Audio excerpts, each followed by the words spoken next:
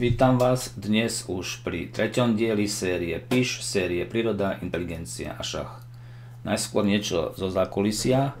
Opäť využijem novú funkciu operačného systému Mohavská púšť a tou funkciou je importovať zo zariadenia iPad. Použijem funkciu odfotiť a odfotím vám pohľad z môjho okna kde by sa mal objaviť pohľad aj na kameru a použijem fotku. Teraz iPad vypnem. Dám si to zobraziť na celé okno, na celú obrazovku a takto to vyzerá pri pohľade z okna. Táto kamera ma filmuje. Môžeme to ukončiť.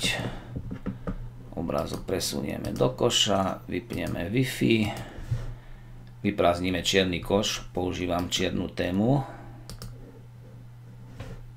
Áno, a môžem sa dať do práce. Štart.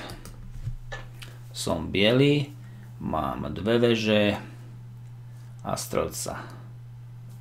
Nemám dámu. Super má dve veže, jazdca a dámu navyše. Že by som o tú dámu prišiel v poslednom ťahu, je to tak. Takže prehrávam o celú dámu. Tak toto pravdepodobne musí skončiť matom.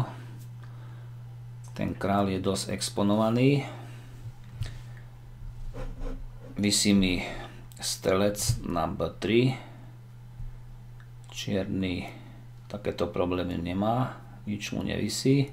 Takže jednak prehrávam o dámu a jednak mi vysí strelec. Nádherná východisková pozícia, ale ten strelec je na tej istej diagonále, kde sa nachádza král. Takže je možný odkrytý šach, dvojitý šach. Lepšie bude ten dvojitý šach, pretože po odkrytom šachu by som asi len o toho strelca prišiel. Tak keby som chcel získať späť tú dámu, tak po ťahu veže na D8 by som ju mal späť. No ale medzi tým by som prišiel o strelca, získal by som dávu, ale superovi by zostali dve veže jazdec a ja by som mal jedinú väžu, takže o materiál tu nepôjde, pôjde tu o mat. Tak kde je s tou vežou?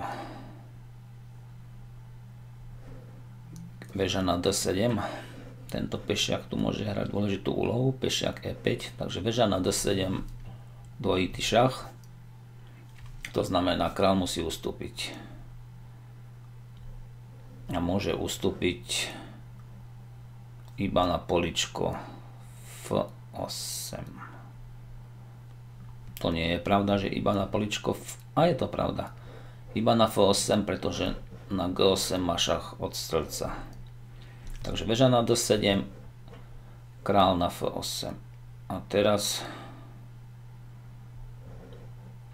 čo ďalej?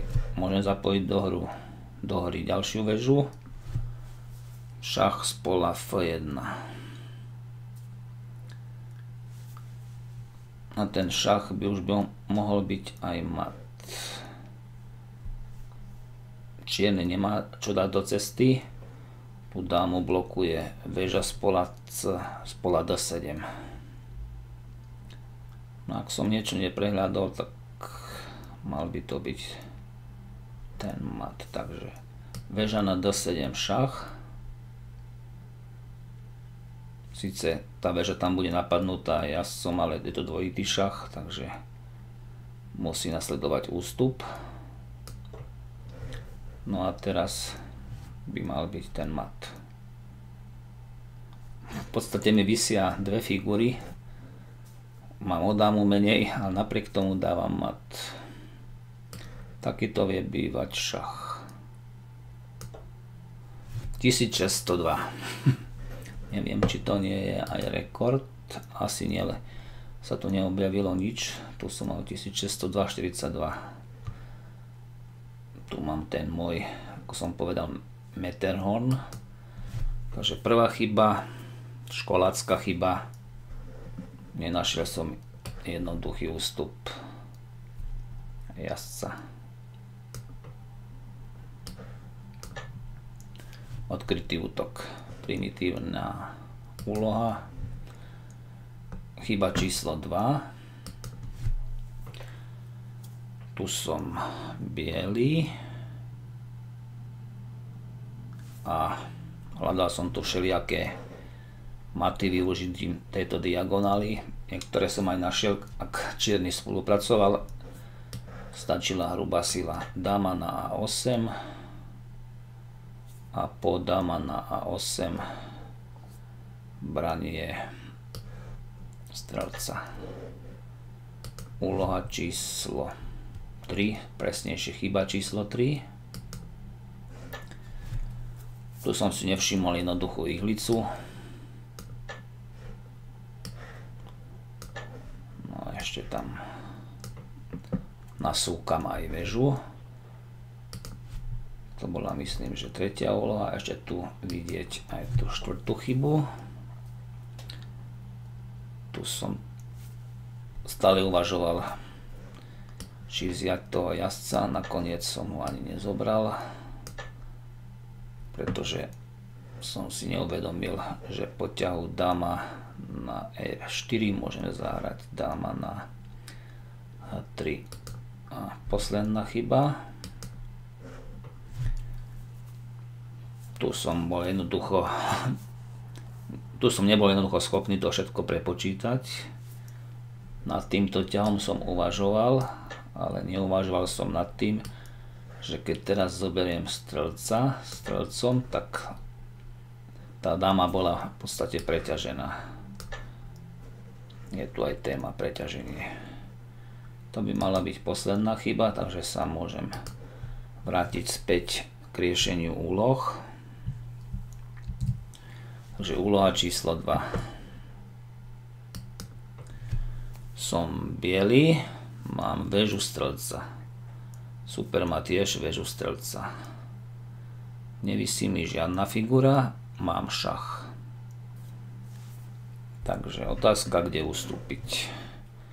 Môžem ustúpiť na H4.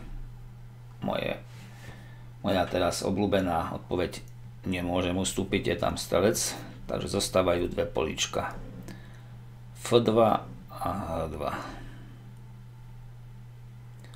Ak by som ustúpil na F2, tak čo sa mi stane? Môžem dostať šach z pola H4, čo by som sa asi potešil, pretože toho strelca by som vzal. Ak ustúpim na H2, môžem opäť dostať šach, tento raz pola F4.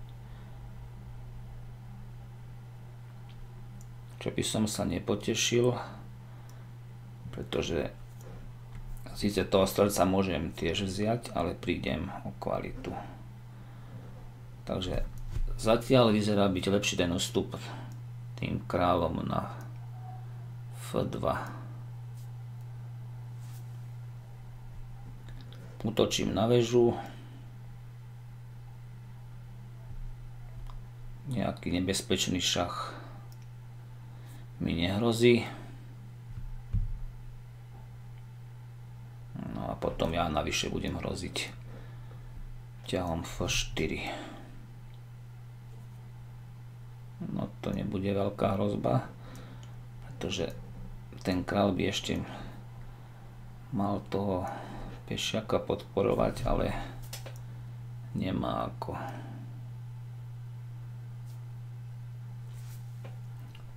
No. Bolo by to naozaj nebezpečné, ten ťah král na H2. Dostal by som šach, musel by som ísť iba král na H3 a dostal by som mat. Takže je to jasné, král na F2. Ústup veže do rohu. A čo teraz ďalej? Teraz už ten šach strelec na H4 hrozí, pretože to srdca bude kryť väža z pola H1. Mal by som prejsť do protiútoku. Šach môžem dať jedine väžou a šach, ktorý je v poriadku, môžem dať z pola E4.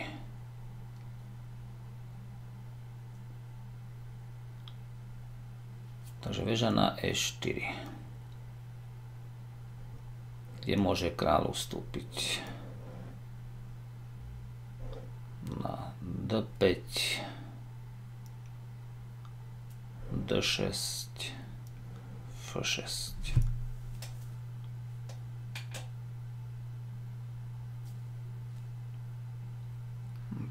Tri ústupové polia, čo je pomerne veľa.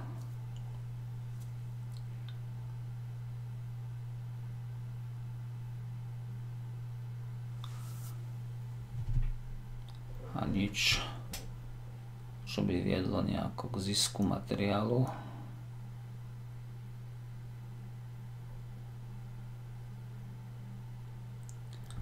Vlastne o čo by som sa mal teraz snažiť, keď som sa možno dočasne zbavil šachu.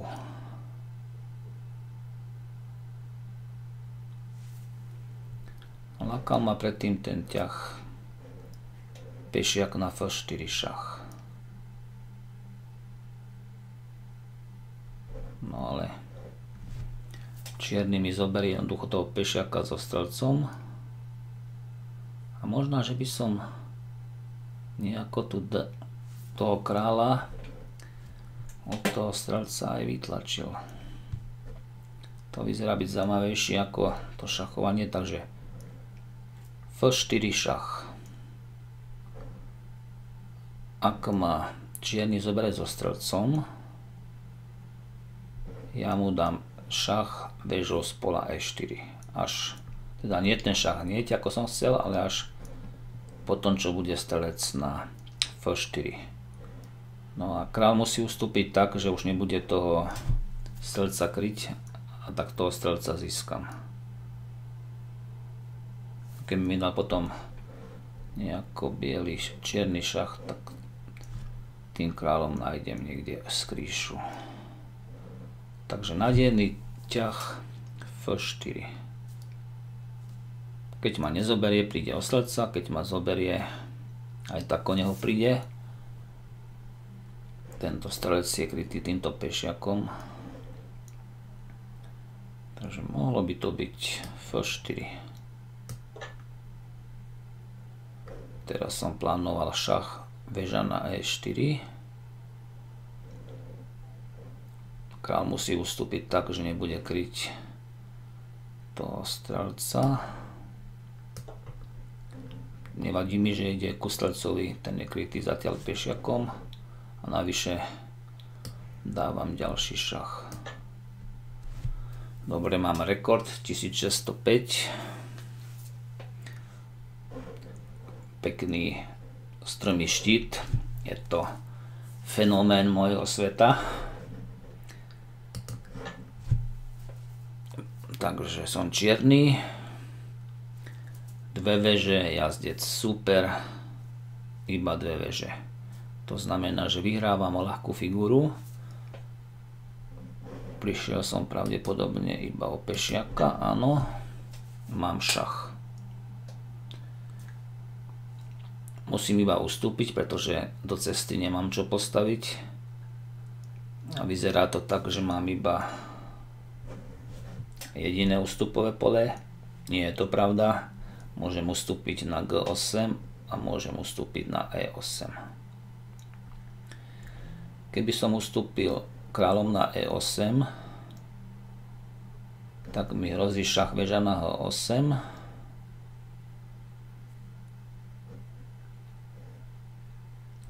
Dajme tomu, že by som ustúpil kráľom na E7.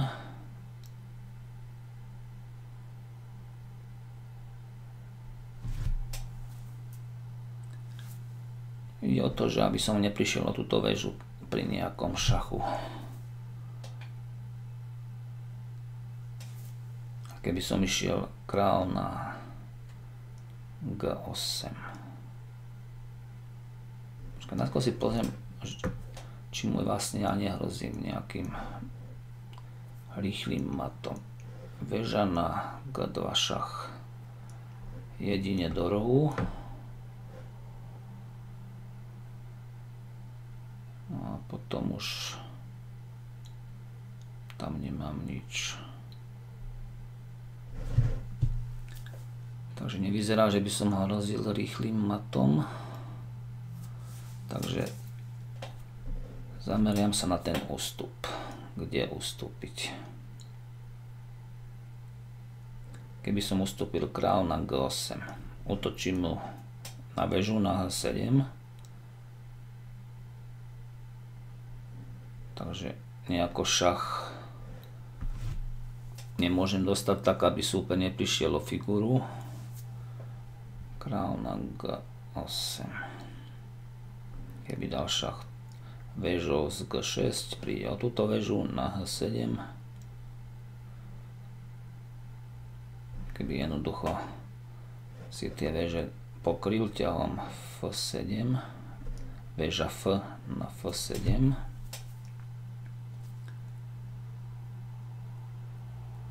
Tak. Nemám žiadny šach.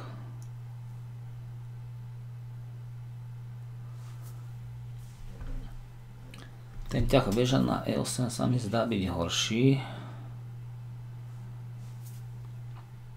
Väža na E8. Keby to chcel biely nejako využiť a pokúsil sa nejako získať túto väžu. Takže väža na E8. Väža na H8.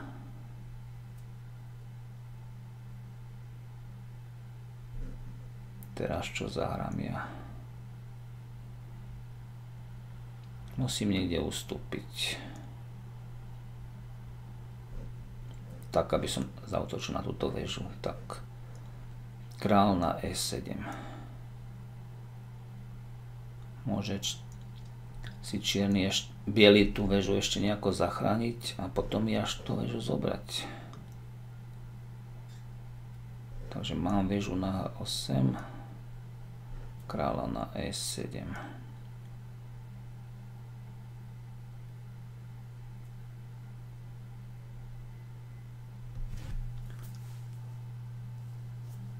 Nevidím, čo by...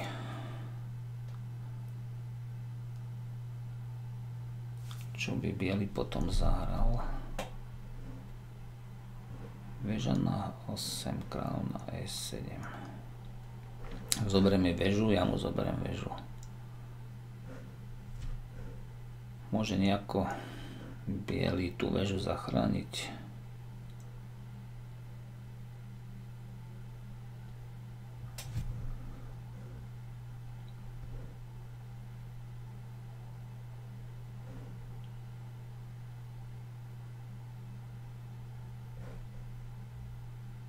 nevidím ani tu, že by boli tie ťahy rovnocenné. Král na G8, král na E8. Dostal som sa na 1600, tak asi je na čase znova sa vrátiť do 1500 viek.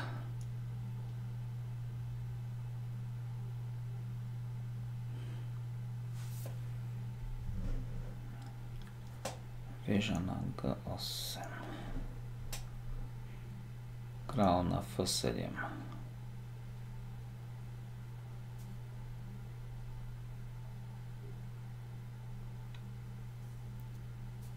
Potom hrozí väža z F7 na G7, ústup.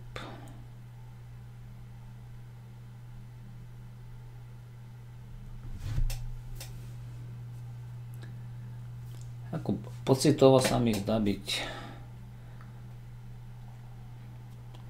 lepší ten ťah král na G8. Som bližšie pri okraji šachovnice. Nejako sa mi sem nemôže tak ľahko nasačkovať tá väža na 8 rad.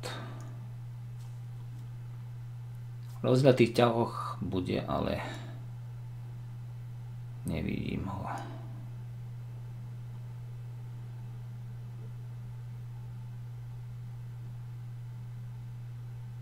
Tak idem na král na G8.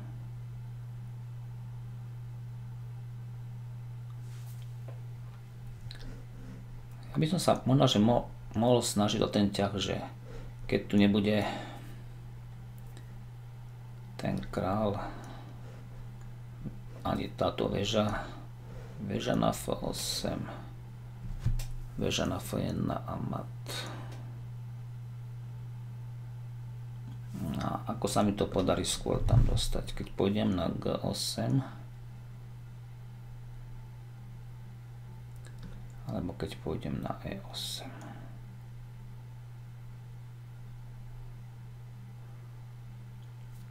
keby som šiel král na E8 mohol by mi dať biely šach z pola E6.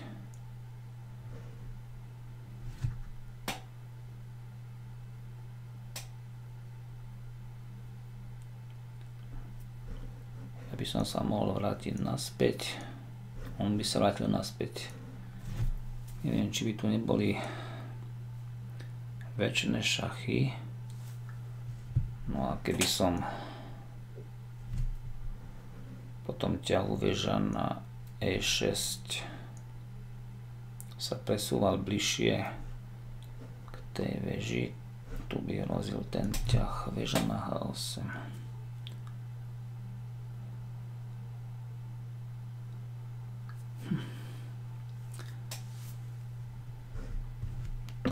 Prečo sa rozhodnem? Král na G8.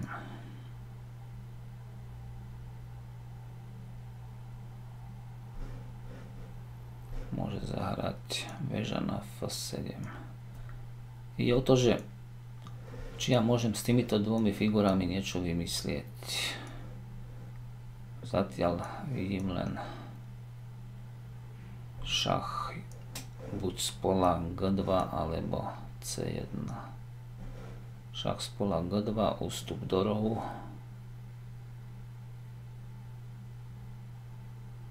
A čo ďalej?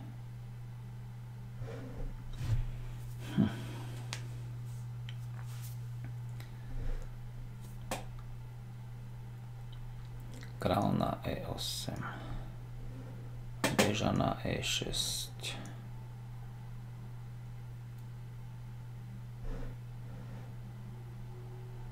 král na d8 môže mi dať šach beža na e8 by som musel ísť na 7 slupec ja myslím, že správny bude král na G8. No aj tento ťah som očakával. A teraz tá hrozba na F1. Takže väža na F8. Hrozím, že beriem väžu na F7. On by mi mohol dať šach.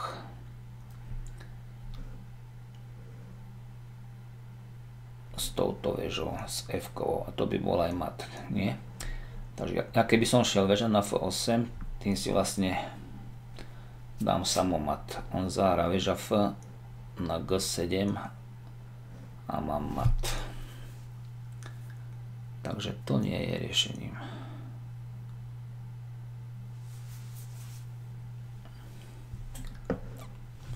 No a keby som zahral nejaký slabý ťah, tak mi hrozí väža na G7. Musím ísť do rohu a toto by bol väčší šach.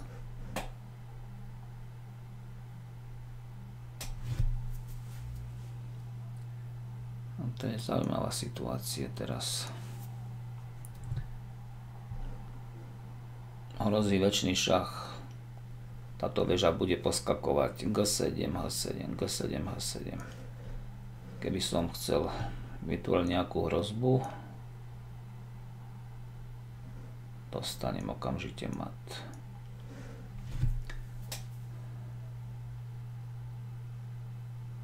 Že by som dal nejaký defenzívny ťah, aby mi nehrozilo to poskakovanie jazdec na F5. Tým bránim tomu ťahu ľubovoľnou väžou na poličku G7. Ak by mi zobral, to jazdca príde o väžu.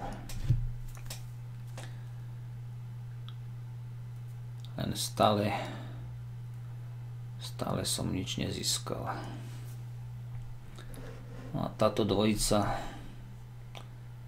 môže si nejako poradiť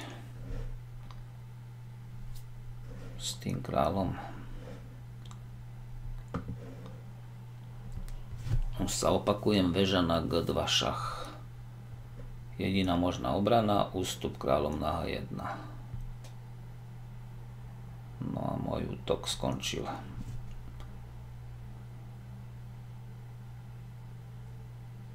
Keby som dal šach väža na C1, kráľ na F2. Ešte by bol možný šach jazdec na G4. No. Čo? Jazdec na G4. Táto väža je jednoducho mimo hry.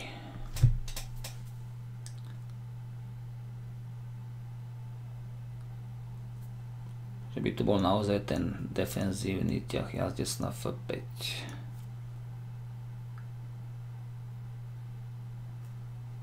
No. Nehrozil by, by mi ten ťah. Počkaj len, že jazdec na F5. Bielí pešiaci idú ku mne, tak by ma jednoducho ten pešiak vzal. No to bola zas blbosť pekná. Hm. Tak ako vyriešiť ten problém?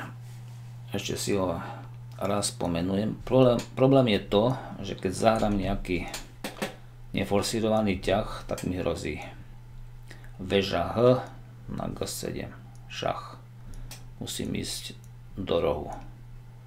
Tam dostanem ďalší šach, takže hrozí mi tu väčší šach. Takže buď zabraniť ťahu väžou na poličko G7, čo nevidím, ako by som mohol. Pretože Veža na F8. Dostávam dokonca mat. Čo som plánoval jazdec na F5 jednoducho ma zoberie pešiakom. Takže táto dvojica veža jazdec jednoducho musí s tým kráľom nejako poradiť. Ale ako tak to neviem. Veža na G2 šach. Jediná možná odpoveď, ústup do rohu.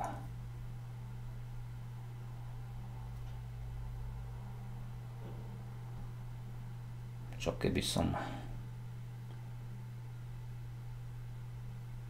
zobral potom tom vežou pešiaka na H2, tak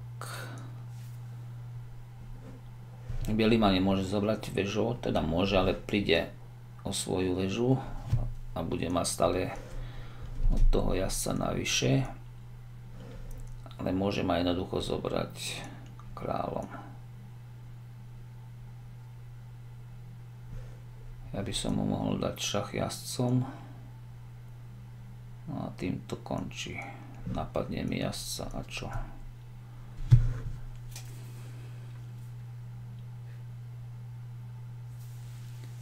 tak ešte ten variant väža na C1. Jediné ústupové pole, král na F2. A už som to tuším konečne našiel. Ja mu potom môžem dať šach vežou z pola F1. On mi zoberie jazdca, ale ja mu berem väžu. Je 15 hodín.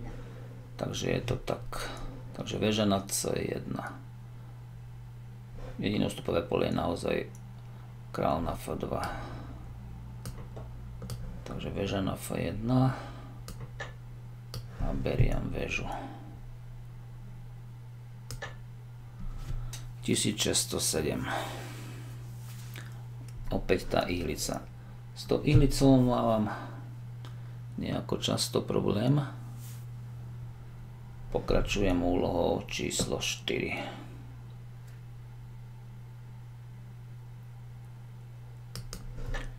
Som čierny, mám dve veže jazdca. Super má dve veže, a až 3 ľahké figúry. To znamená, prehrávam o dve ľahké figúry. To som asi prišiel o niečo cenné o jazdca. Takže prehrávam o dve ľahké figúry, ale mám tohto zaujímavého pešiaka na E2. No a ako to pomeniť v tejto oblasti? To bude pravdepodobne riešenie. Tak na, na tú väžu útočia moje tri kamene. Je krytá tiež tromi kameňmi, ale jedným z tých kameňov je král.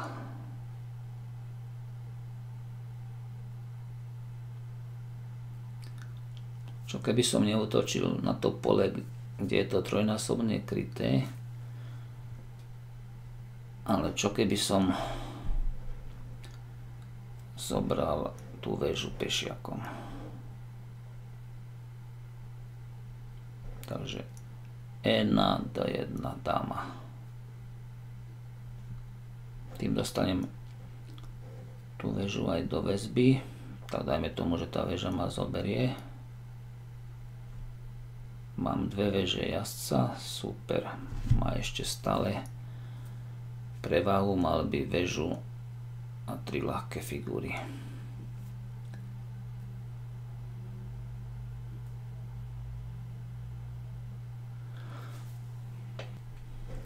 Takže asi to bude niečo iné. Takže keby som začal s tou väžou väža na F1 šach. Zoberie ma so strelcom. Trlec na F1.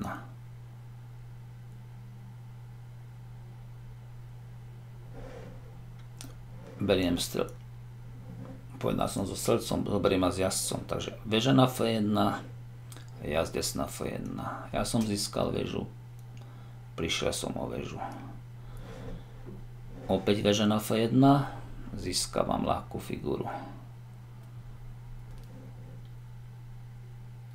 Veža na F1. Prichádzam o väžu. Beriem to pešiakom. Takže biel by prišiel o tieto tri figúry. Ja by som prišiel o dve veže.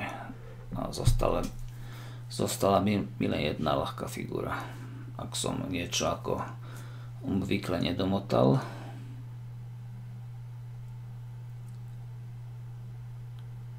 Môžem si dovoliť nejaký medziťah.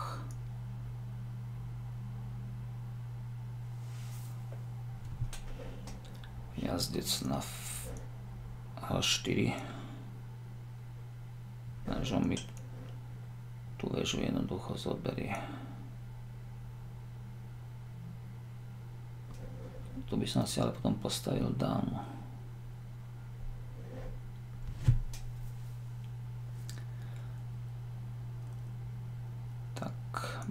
Medziťah alebo hľadať nejaké výmeny. Tak čo hrozím tým ťahom? Ja by som dokonca mohol zahrať aj jazdec na F4, len tým už nebude tá väža krytá. Takže jazdec na H4. hrozím zahrať väža na G2 ústup do rovu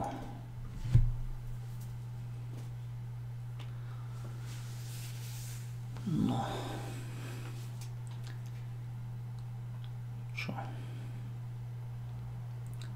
Tak čím začneme?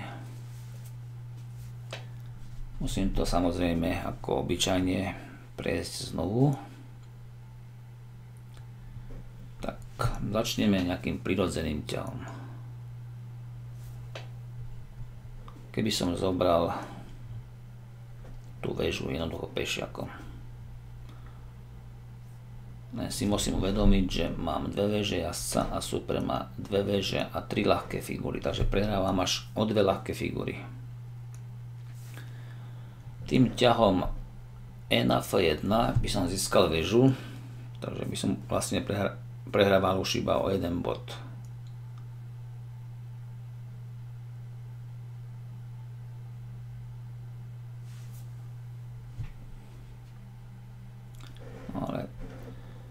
Tri figúry chránené tromi figúrami.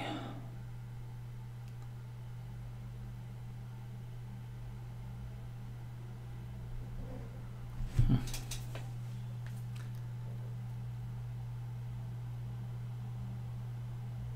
Takže E na F1. Získavam väžu. Jazdec na F1.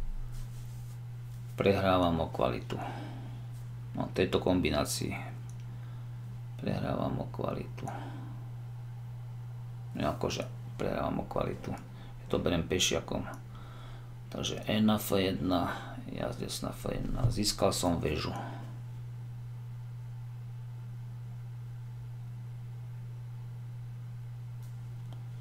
by už bolo lepšie, takmer vyrovnané. Ako pokračovať potom ďalej.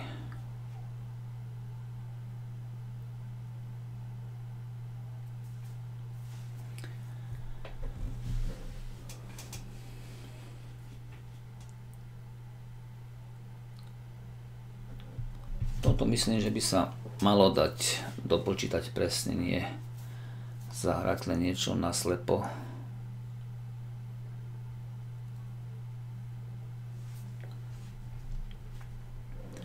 jedna, mám väžu. A zaujímavé je, že keby ma zobral to väžou, tak ja mu môžem zobrať tohoto jazdca. A už budem mať prevahu, pretože ja Túto väžu mám krytú s jazdcom. No mohlo by to byť, myslím, že aj riešenie.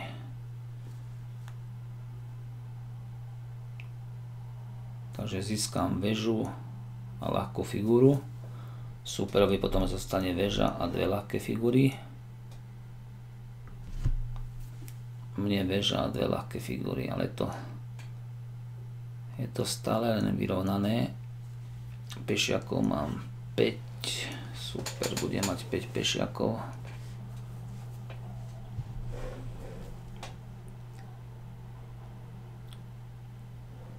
Záleží na tom, že či mi on tú väžu zobere. Keď ju zobere hneď jazdcom, tak tam nezískavam potom ďalšiu figúru.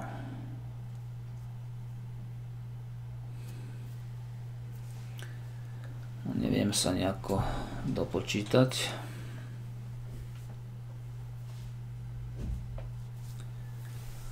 Takže čo? Nechcem to zahrať len tak od oka.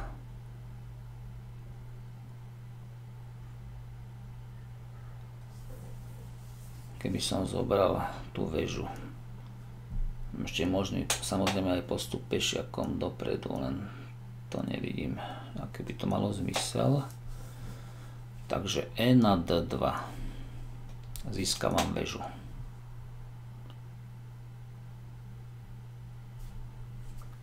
Super ma môže zobrať väžou.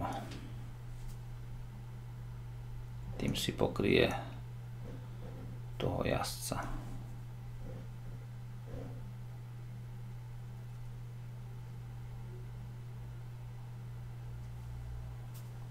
No a môj útok po E na D2 končí. Zoberiem ma vežou.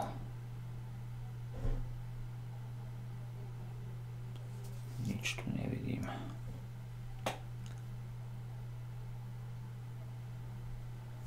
Takže buď ťah E na F1,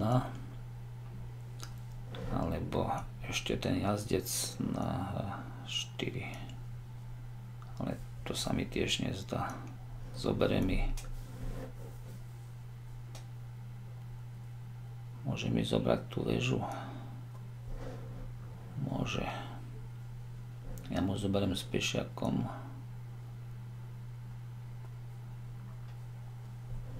Hm. Jazdec na H4. Zoberiem mi, dajme tomu väžu. Väža na F2. Prišiel som o väžu. Už mám dve ľahké figúry. Postavím si dámu, takže braním veže, takže stav by sa nezmenil, stále prehrávam o dve ľahké figúry.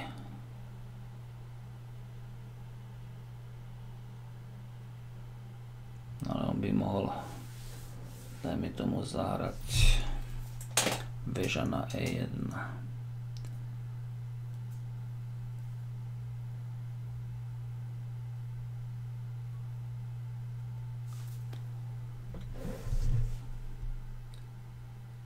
ísť nejakou väžou, väža F8 na F3, zoberiem aj jazdcom.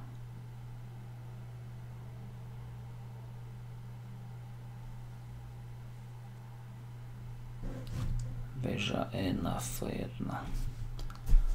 Ten ťah sa mi najviac pozdáva.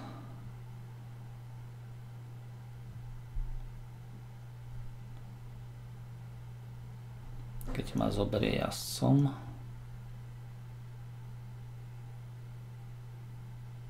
No, zavolám na pomoc jazdca. Budem tam mať útok, ale nevidím čo ďalej, ale už to nebudem zdržovať. E na F1. Tam. Zle. Veža na F1. Veža na F1. Veža na F1. Jazdec na F1. No pekné. Všetko pomeniť a potom si jednoducho postaviť dámu. Stále som na 1600 prekvapujúco. No toto bolo pekné. Všetko pomeniť. a vlastne väža na F1. Tak, keď ma zoberie teraz, ja som, postaviam si dámu. Väža na F1. Zoberiem aj znovu. Má šach. Opäť hrozí postavenie dámy, tak aspoň materiál nejaký pekné. Mohol som na to prísť, ale zatiaľ, zatiaľ na to nemám. Takže väža na F1.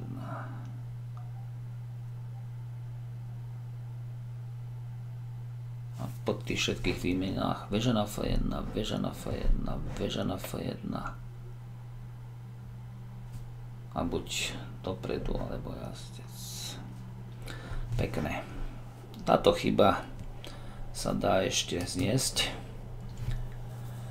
Som čierny, mám väžu a strelca. Super má väžu a jazdca.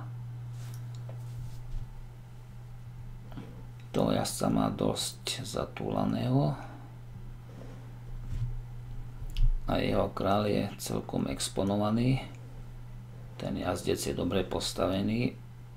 Vlastne v tejto pozícii nemá ten biely král kde ísť. Len šach mu nemám ako dať.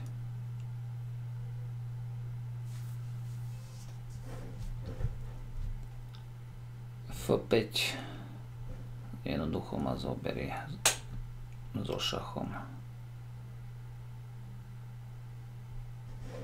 Ten jazdec mi tam čo zobral pešiaka. Nemá kde ísť. Tá väža drží tieto tri políčka.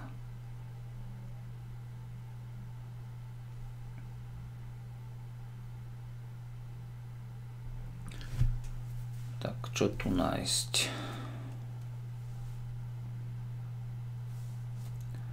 Král je v podstate paralizovaný, ale že by som si to jednoducho pripravil. G6 a potom F5 zoberiem ma a mám mat.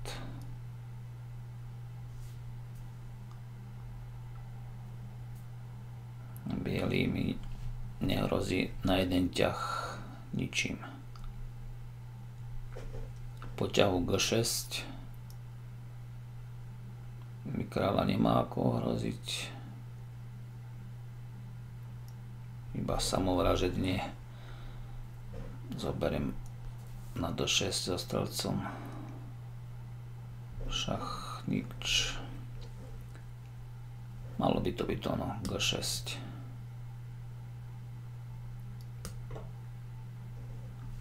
ešte našiel takúto obranu.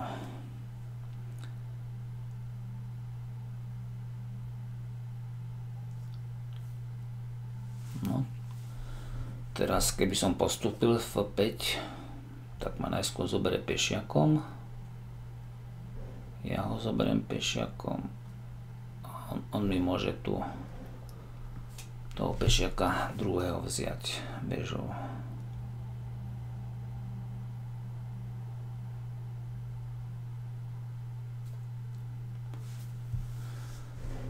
Takže ako vyrieším tento ďalší problém. Takže keby bolo F5, prišlo by G na F5 so šachom. F5, G na F5. Z mojej strany G na F5.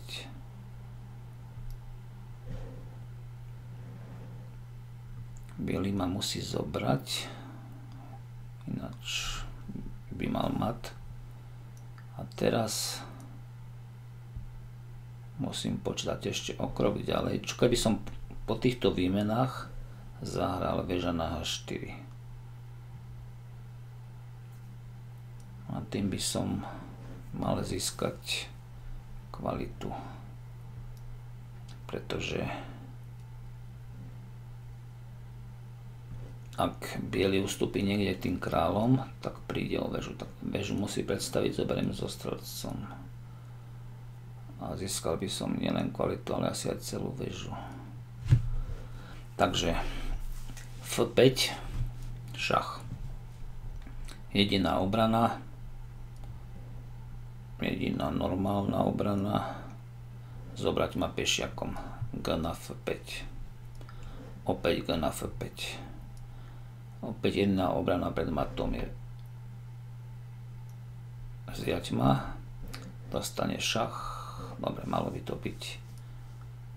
Takže F5. G na F5. Alebo dať ten šach. Mám šach, takže nemám čo vymysľať. A teraz ten kľúčový ťah väža na H4. Väža na H4. No a zoberiem väžu.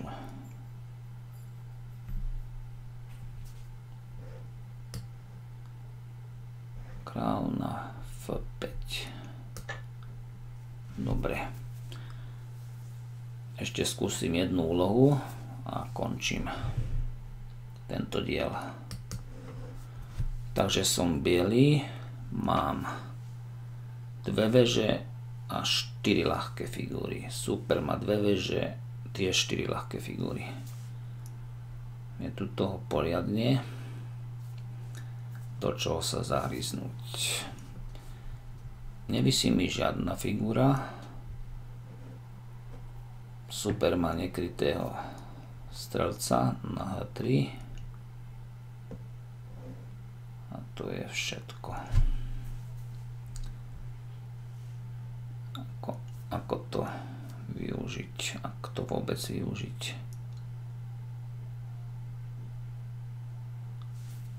Toho strelca by som možno že aj získal, len by som si rozbil tú obranu. Mohol by som zahrať G4 s útokom na jazdca. Aj ten jazdec je vlastne chytený, len môže ustúpiť na F4. Mám tam síce jazdca, ale keby som vzal jazdca na F4, tak mi ho zoberie dámov.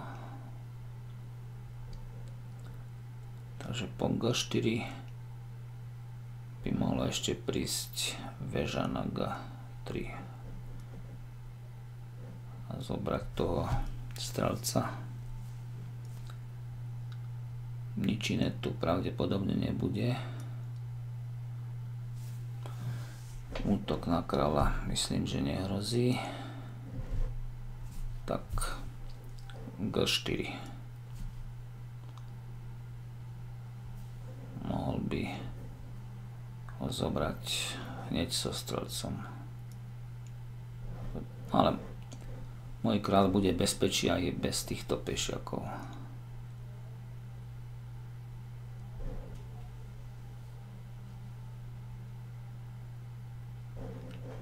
tohto pešáka kryje jazdec pola D4. Myslím, že by to malo byť to. Hlavná idea zisk toho strelca na H3. Viacej tu asi ťažko bude. Takže G4. Dobre teraz pešiakom.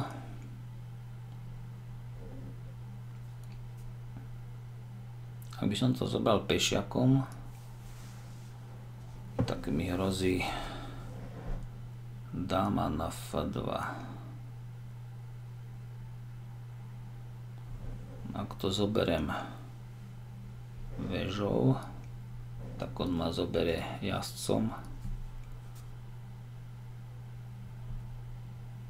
No a prišiel som o kvalitu. Takže branie vežov myslím, že neprichádza do úvahy.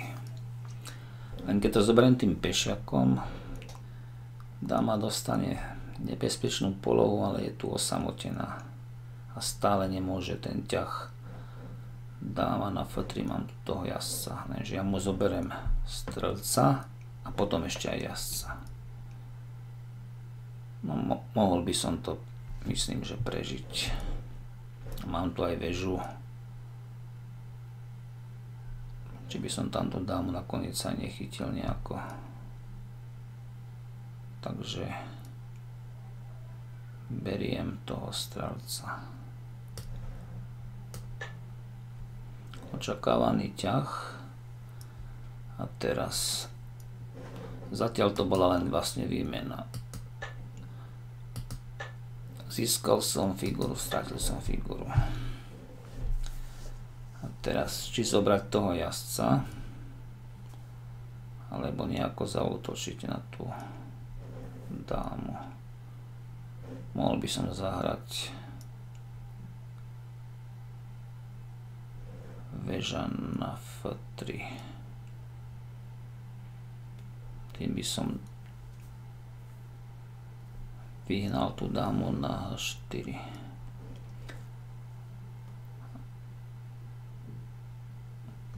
Ale už nemám potom ako stupňovať ten útok na dámu. Keď zoberiem jazdca, nehrozí mi tu nič. Ostatné figúry mám kryté. Prípadný ťah jazdec na G4 zoberiem vežou. Základný rad je pokrytý. Beriem toho jazdca. Dobre. A týmto končím túto úlohu.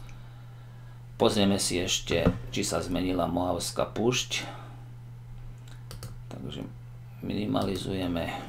Tak, ak vidíte nejakú zmenu, tak je to dobre pre vás, ja nevidím. Len postupne od rána vidieť, ako tie tiene ubúdajú, ale či sa líši tá pušť, aká bola na, začiatku od tejto pušte, to neviem. Uvidíme to podľa oblakov. Je čas vypariť sa.